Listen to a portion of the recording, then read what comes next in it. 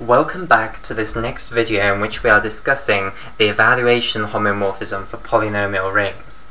Okay, so we're currently in the process of discussing uh, multiplicative compatibility and why the evaluation homomorphism is going to obey multiplicative compatibility. So this is rather faint because of the pen, so I'll just go over it again. Okay, so we are in the process of um, evaluating what these two polynomials multiplied together is equal to.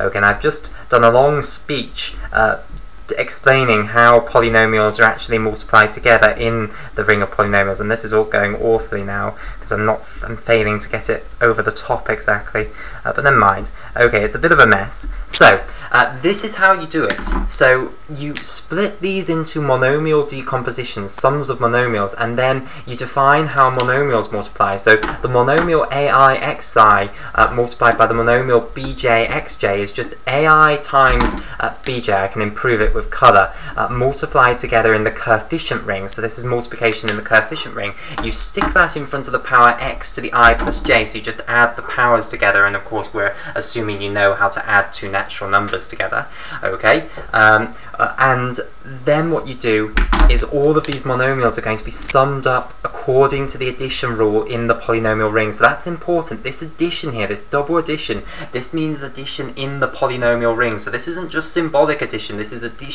in the polynomial ring. You work out what the sum of all these monomials is in the polynomial ring r adjoin x, and that will be your answer as to what these two polynomials multiplied together is equal to.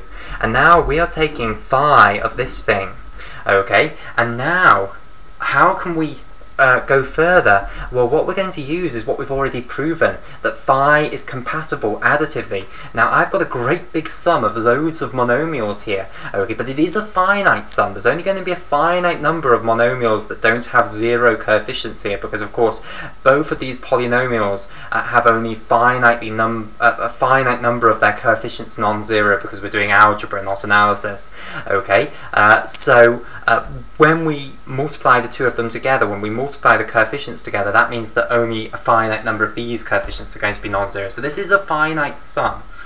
Okay, now, of course, we've only proven that phi is additively compatible for two things being added together, but once you've got two things, it's very easy to generalize for an arbitrary finite string of things. Okay, because for instance, if you've got three things added together, you can just view one thing as one thing, and then the other two things added together as the other thing, apply additive compatibility law that you've got. And I, I, can't really explain this without actually writing it down. So if I've got, for instance, that phi of the polynomial a plus b plus c, if I'm considering this, and I want to split it down into phi a plus phi b plus phi c, okay, what I can do is apply this rule once, so I can split it into phi a plus phi of b plus c, like so, where I'm viewing a as being one polynomial and b plus c as being another polynomial. And then of course now I can acknowledge that b and c are separate and then split that up and then I'll get what I wanted okay? Uh, and you can do that an arbitrary string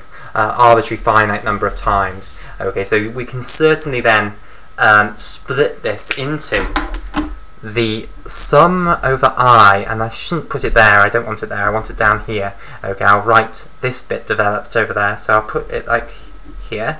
Okay, so it'll become the sum over i the sum over j, where those have now changed meaning because here they were addition in the polynomial ring r adjoin x. They're now going to become the green addition just like it did over here. So they've now become green addition here. Okay, and then what we need to do is take phi of each of these monomials. Okay, so phi of ai times bj, okay, x to the i plus j, and now, of course, we just apply the definition of phi of one of those monomials. Again, I'll just colour in that multiplication there. That's already multiplication in the ring capital R. So phi of any polynomial is just taking that polynomial and evaluating it as alpha. Okay, so evaluate this monomial then at alpha. Uh, what you do is you change uh, the x to alpha, the to the power of i plus j actually means now to the power of i plus j, and the multiplication here actually becomes multiplication rather than just being a symbol.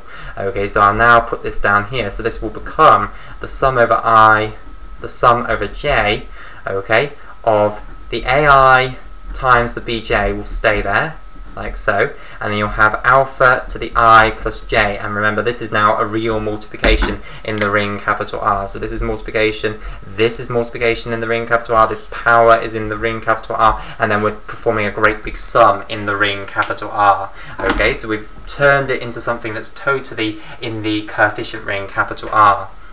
Okay, so what we now want to do then is develop the right hand side a bit and show that it becomes this. Okay, so let's develop the right hand side. So firstly let's take phi of this polynomial. Okay, so we know how that works. Uh, we'll just evaluate this at alpha, so this will become the sum over i of ai um, alpha to the i here, and of course the sum has changed meaning. Here we were just thinking of it as uh, being a symbolic sum, or you could have thought of it as being uh, the monomial decomposition. You don't need to though, you can just think of it as being uh, the symbolic sum.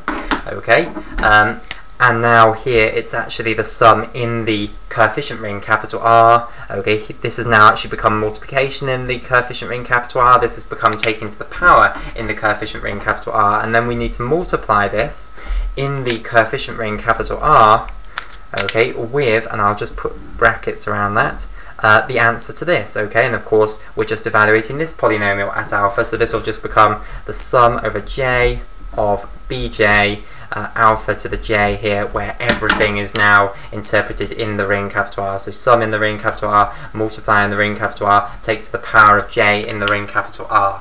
Okay, and again I'll put brackets around that. So this is a great big sum of these terms ai uh, times alpha to the power of i, and this is a great big sum of terms bj times alpha to the power of j. Okay, now what we can do uh, is just apply distributivity in the ring capital R. So distributivity holds in the ring capital R, and hopefully you'll agree that if you do apply distributivity to that, you just need to multiply every term here with every term here, which is exactly what we've got here, and then sum up all of those terms, which is exactly what we've got here. So indeed, this is equal to this. Okay, so multiplication is indeed compatible, okay, between the polynomial ring R adjoin x and the uh, coefficient ring R. Okay, so this is all looking good. Now the final thing then that we need to prove in order to prove that this is indeed a homomorphism is that the multiplicative identity in the codomain ring, which is the polynomial ring, is mapped onto the multiplicative identity uh, in the, sorry, the multiplicative identity in the domain ring, which is the polynomial ring, uh, is mapped onto the multiplicative identity in the codomain ring, which is our coefficient ring. Okay, so we need to prove that phi of 1 is carried on to 1. Now that, of course, is very simple. Okay, when we evaluate the polynomial 1 at alpha, it does just go on to 1, because, of course, it's a constant polynomial, it has no powers of x. Okay, uh, so it's just going to go onto itself. Indeed, all constant polynomials are just going to be mapped onto themselves by any evaluation homomorphism. So indeed, uh, the constant polynomial 1 is going to go onto itself in the coefficient ring. Okay, so that's absolutely fine. Uh, the multiplicative identity does indeed go on to the multiplicative identity. And hence we have now proven that this evaluation map where you take any polynomial and you evaluate it at a certain value of the uh, coefficient ring uh, and therefore get a value in the coefficient ring is actually a ring homomorphism.